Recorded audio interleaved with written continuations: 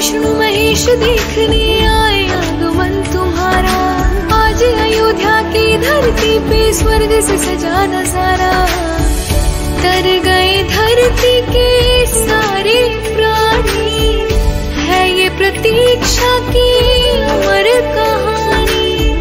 पंछी भी नहीं देख रहे हैं। अयोध्या के राजा